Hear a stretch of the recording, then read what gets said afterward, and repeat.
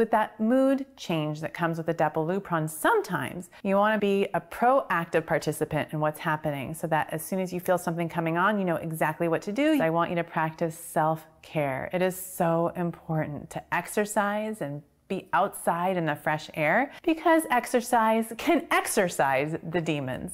The other thing is stock up on Kleenex, look into yoga, and get good sleep when you can.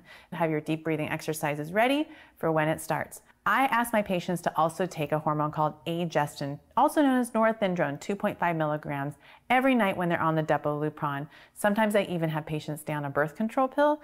These are the things that I do to help with some of these symptoms that you can get. And in some cases, I also add letrozole as another way to deal with the inflammation for the reason that I'm giving my patient Depo-Lupron. But Kleenex on hand, yoga class, have it ready, meditation tape, ready to go.